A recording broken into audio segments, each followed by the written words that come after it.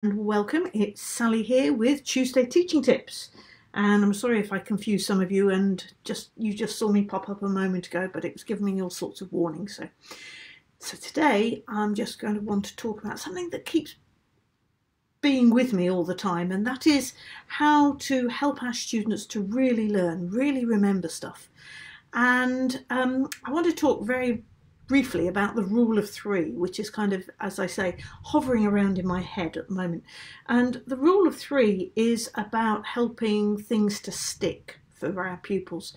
You know, to be honest, we have very little time with them. If you have 30 minutes, very little time. If you have 45 or it's an hour, then slightly longer. But nevertheless, it's not very much time in the whole week. So we want them to be able to find, retrieve, um, items that you've taught them, things that you want them to be able to remember. And just going back to that word retrieval, you know, what do we want them to retrieve? What do we want them to remember? What do we want them to take away with them at the end of the lesson and bring back to the next lesson? Um, now, to help them with that, there is this idea of stickability. I love that word, stickability, helping things to stick. And you help things to stick by actually getting the student to retrieve it from their memory up to three times in a lesson. So, for example, I've got um, a young girl coming this afternoon. We're looking with dealing with the concept of whole steps and half steps this afternoon. Um, we had a quick sort of excursion into it last week when I I just um, did a little bit of preparation work on it. And this afternoon, I'm thinking about how I can use the rule of three to really help her learn this and, and have this for her own. So I'm going to use my floor spots on the floor and we're going to start by walking the whole steps and the half steps. I use solfa, so it'll be do, re, whole step, re, mi, whole step, mi, fa, half step, and hello to everybody who's watching. I can see Sharon's out there. Hi, Sharon.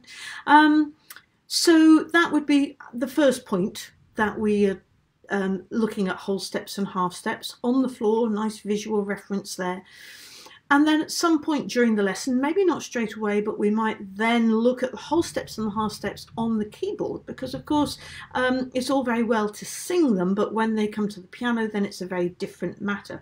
And I might help them by doing some patterns. So you can't see, can you? But I've got some little you can see just about here. Look, you can see I've got some of my little friends here. They have come apart a little bit, but we might put those on the keys, for example, and, and the penguins might be on the whole step, do, re, whole step, and then the frog could be on the half step, the, the mi to the fa. Can I just say at this point, one of the reasons I really love solfa is because the function of the notes um, are absolutely explicit and very visible. So mi to fa Mm-hmm. Mi fa, for example, mi fa, it's always a half step. That's all that the student has to remember. I have to remember, she has to remember. Um, whereas the rest of them, and except for ti, ti, no, re, mi, fa, sol, la, ti, do, is also a half step.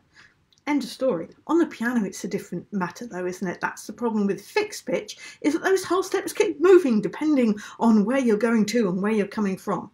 Anyhow, we would put these then on the keyboard to help find the them on the on the keyboard.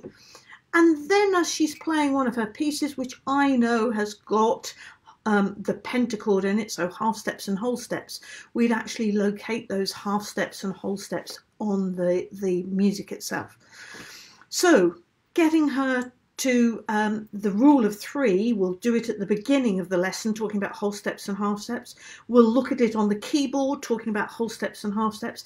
And we'll also find patterns on the music, talking about whole steps and half steps.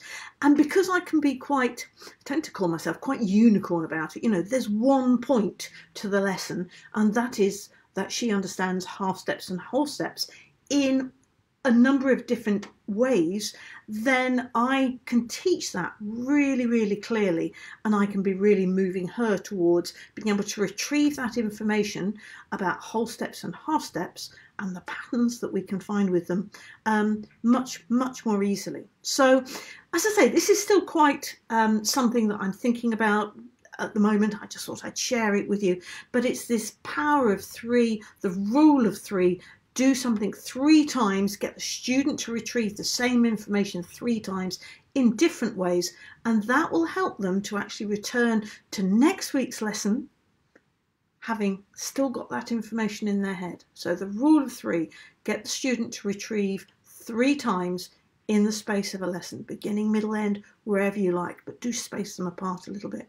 Thank you all so much for watching. I can see lots of people have popped in to have a listen, and I do hope you find that useful. And do try that out this afternoon or tomorrow or wherever you, whenever you want to. This rule of three. Think about what do I want to teach, and can I get the student to retrieve that three times during that lesson? Okay, that's the rule of three for you. Thank you so much. Bye bye. See you next week.